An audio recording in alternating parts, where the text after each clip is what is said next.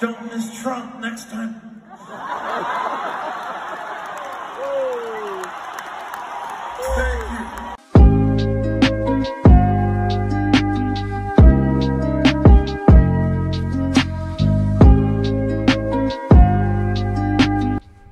Man, oh man, well, that clip you guys just saw is the recent clip that's been going around. Guys, what's going on? It's your boy Flatley. We got a brand new uh, video today. We're going to be talking about Jack Black and his cancellation. And there's another issue going on. It made the whole situation uh, with Jack Black, well, Jack Black situation way, way worse. But let's get into the first reason, right? Jack Black is facing backlash and calls for cancellation, primarily due to uh, uh, this one controversy involving his band Tenacious D and. It, it ain't looking too hot. Now they ended up um, releasing Glass or Gas, however you want to say is. Uh, the talent agency ended up releasing him after his Trump comment on stage with the video clip you guys just saw. And people are just clowning on Jack Black and everything like that. They even canceled the upcoming tour, which I think is kind of. I think it's kind of dumb. I think you can have like uh, an understanding that it was a bad political take.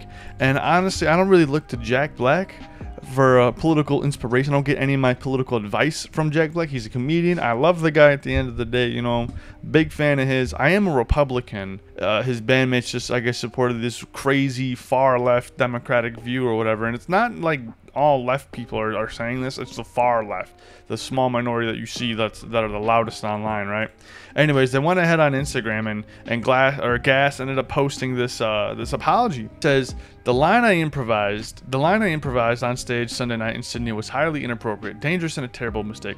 I don't condone violence of any kind in any form against anyone. What happened was a tragedy, and I'm incredibly sorry for my severe lack of judgment. I profoundly apologize to those I've let down and truly regret any pain I've caused. Now I'm going to be real. I don't think this is like a legitimate apology because uh, if you truly felt this way, uh, you truly were like this this awakened on the inside to see your own hypocrisies. I don't think you would have said it uh, in the first place. As old as you are, no offense to Gass, but I think you would have learned this lesson uh, far, far before uh, this point in time. And uh, at the end of the day, it's just some who really cares, right? Who gives a fuck? I do, I do understand that the dangerous rhetoric because he he has gone online before and and um has bashed other people for dangerous rhetoric. I know he's not the biggest fan of Alex Jones as well, but for him to do the same exact thing is hypocritical. But again, it's that it's that bias, and I think he was just trying to gain the favor in the room, or what he thought was the favor in the room, and thought he could get some cool, uh, quick points uh, scored in the social game that we all play every single day, and it just didn't work out for him. Anyways, Jack Black ended up getting canceled because of this. I mean, he could see him in the clip. He's laughing. He's like, "Whoa, what the?" You know what I'm saying?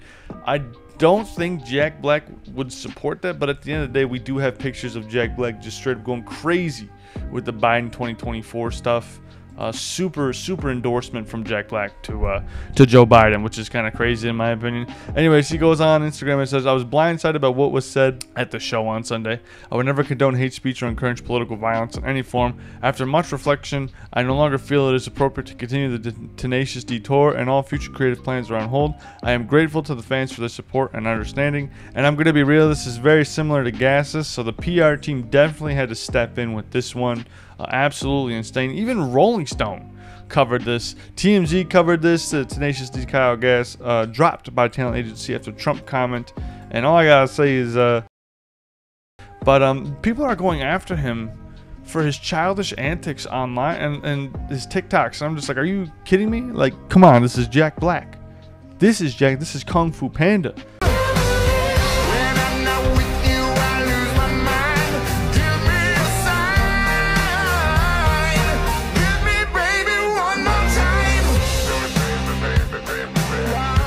This is Schoolhouse Rock, bro. This is Jack Black. This is the guy in Jumanji who was playing a black guy, playing as him as a white guy. Uh, I love, I love his acting.